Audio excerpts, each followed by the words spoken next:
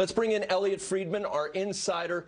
Elliotte, your thoughts on this move? As we all know, Ryan Ellis is 30 years old, and as previously mentioned, this is six years still remaining on that pact. Your reaction? You know, Tony, I didn't know how many contracts with a lot of term would get traded this year, but I do think that Ryan Ellis was had a chance to be one of the players whose long-term deal did get dealt. Ryan Ellis has a lot of respect in the league. Uh, people like the way he approaches the game. Uh, people like how hard he plays. I mean, the only question are injuries. Um, you know, he's battled, for example, a hip problem at times, and I think that was probably the only concern. Um, I also think that this was something that came up last year around the trade deadline. I think Philly talked to Nashville about both Ekholm and Ellis. I think Nashville is going to try to extend Ekholm now.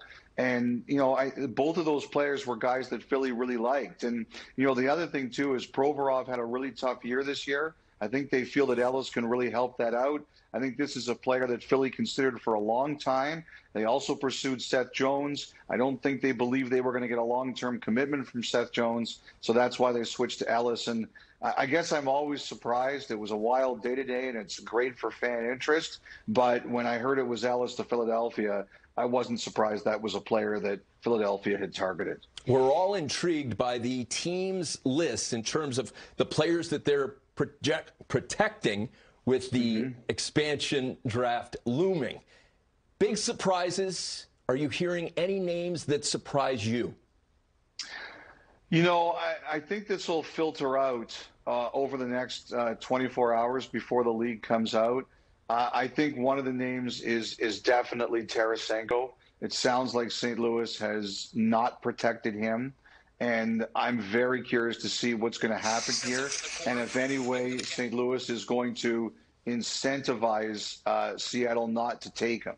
I think this is something St. Louis could do potentially trade wise. So I'm very curious to see how this is going to work. I think another one is Zadorov from Chicago. Um, you know, Chicago at this point in time hasn't extended him. I think that St. Louis, uh, Seattle, excuse me, is a team that's going to try to build from the blue line. That's Ron Francis's history. So those are a couple of names that I'm curious about right now. I'm also curious about the goalies. Uh, Jake Allen from Seattle, Chris Driedger from Florida.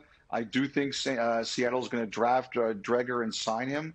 Um, I'm curious to see what they're going to do with players like Braden Holtby and Jake Allen because there's a lot of goaltenders out there and there's a lot of teams looking for them. But I have a feeling this is going to trickle in over the next 24 hours until they're officially released. Florida fans know what Driedger brings. That think about the fact that all three goalies, Spencer Knight, Bob, and Driedger, all played in that playoff series in the first round against the Bolts. How about Miro Heiskanen? The eight-year deal that is a whopper, but certainly well earned.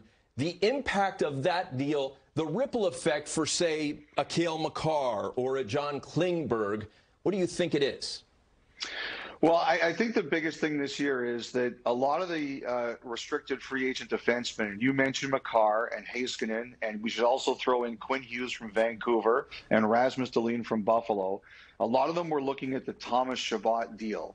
And Thomas Chabot signed an eight times eight deal in Ottawa before his third year. And the agent who did that deal is Ian Pulver, and he also represented Heiskanen.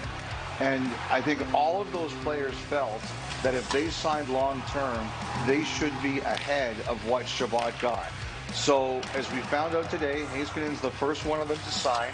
Dallas said Heiskanen wanted term. He wanted eight years. I think Dallas was very happy to do it. I think this is going to deal going to be a deal that's going to turn out to be great for the Stars. I think that he's a guy who will live up to this but we know that that number is above 8 million.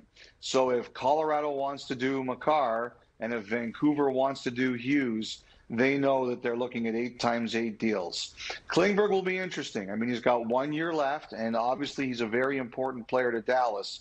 Uh, we'll see where this goes here. I, I, don't have any information on that, so I don't want to make any wild predictions. But I think the Stars were really happy to get long term for Heiskanen.